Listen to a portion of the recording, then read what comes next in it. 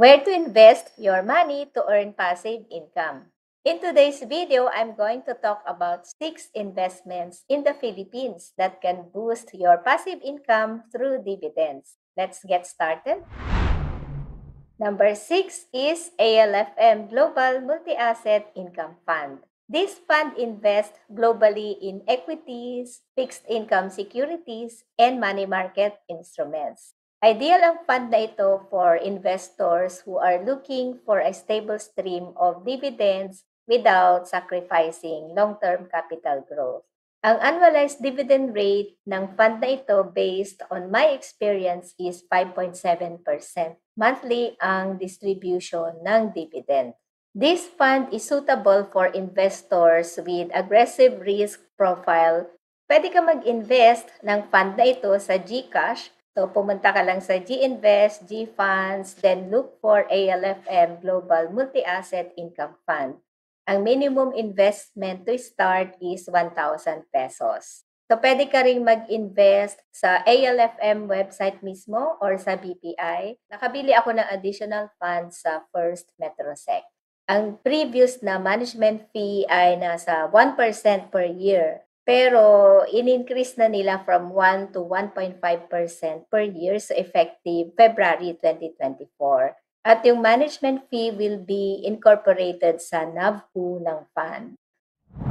Number 5 is bond. Bond is a fixed income instrument that represents a loan made by an investor to a borrower. There are different types of bonds. Merong government bonds, meron ding corporate bonds. So, mangyayari, magpapautang ka ng pera mo sa government or sa company pag meron silang bond offering. And in return, yung borrower, so either government or company, will pay fixed amount of interest. And then, ibabalik nila ang principal mo upon maturity. Ang interest ay nasa 5 to 7% per annum. Bonds are considered to be one of the less risky ways of growing your money.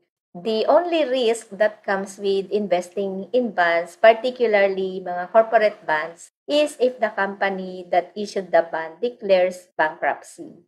While rare, it's still a possibility and therefore considered as a risk.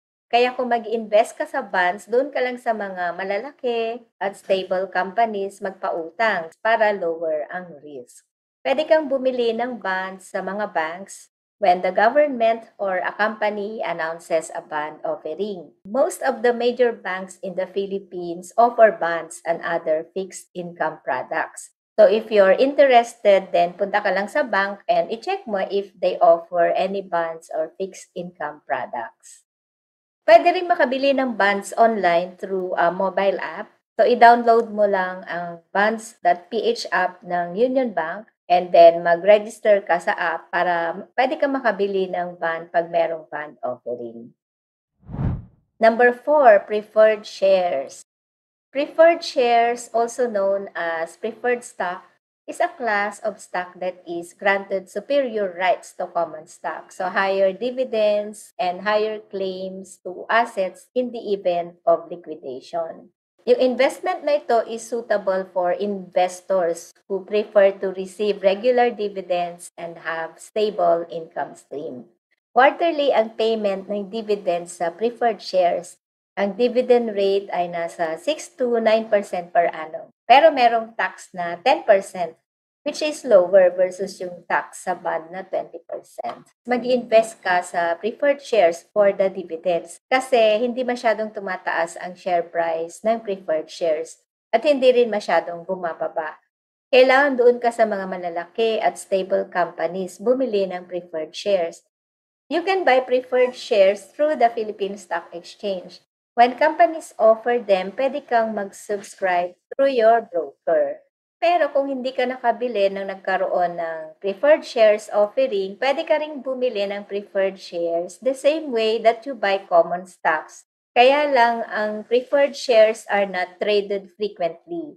Kaya yung volume of trade is low. Number 3 is Pag-ibig MP2.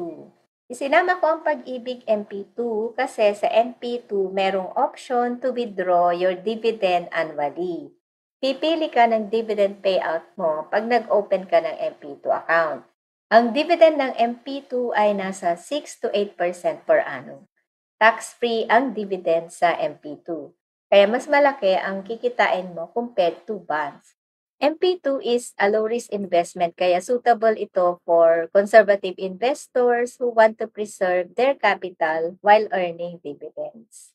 Para makapag-invest ka sa MP2, kailangan pag-ibig fund member ka. Okay? And then pwede ka mag-open ng MP2 account online or pwede ka ring pumunta sa any pag-ibig fund na branch to open an account. Meron na akong tutorial video on how to open and validate your MP2 account online. So watch mo na lang ang video ko kung wala ka pang MP2 account. Number two, REITs. So REITs are companies that own and operate real estate properties. You can buy shares in a REIT and REITs will let you earn money through cash dividends. Ang payment schedule ng REITs ay quarterly. So, meron kang makukuhang quarterly na dividend pag mag invest ka sa REITs. Mataas ang dividend yield ng REITs. So, nasa 7.5 to 9.96%. Yun lang meron tax na 10%.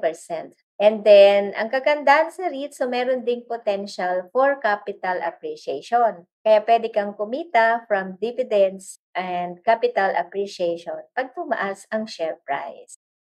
You can buy REITs through the Philippine Stock Exchange. So, kailangan mo ng trading account sa broker para makapag-invest ka sa REITs.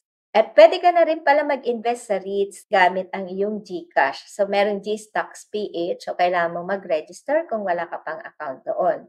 Pwede na rin mag-invest sa REITs gamit ang iyong Maya. So, meron ng Maya Stocks. I like Maya Stocks kasi pag nag-open ka ng Maya Stocks account, pwede mong ma-access sa PhilStocks ang account mo. So, both sa website or sa mobile app ng PhilStocks Financial pwede kang mag-buy and sell ng stocks diretso na sa PhilStocks. Number one for me is dividend stocks. You can earn income from dividend stocks by investing in shares of companies na nagdi-distribute ng portion of their profits to shareholders in the form of cash dividends. Malaki rin ang potential na mag-appreciate ang price ng dividend stocks kaya pwede kang kumita from dividends and capital appreciation pag tumaas ang share price. Kaya lang ang dividend stock investing requires work on the part of the investor. It's important to understand how the stock market works at kung fit ba ito sa yung overall financial strategy. So you can buy dividend stocks through the Philippine Stock Exchange. So same sa REITs and preferred shares. So kailangan mo ng trading account para makapag-invest ka sa dividend stocks. Pero ngayon, pwede ka na rin mag-invest gamit ang yung GCash sa GStocks PH at sa Maya. So, gamit ang Maya Stocks. Pa-like and share na rin and I'll see you in my next video.